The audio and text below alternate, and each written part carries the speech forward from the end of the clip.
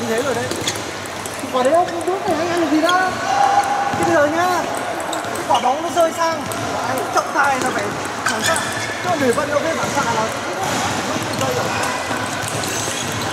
giật mình chân này là nó lại.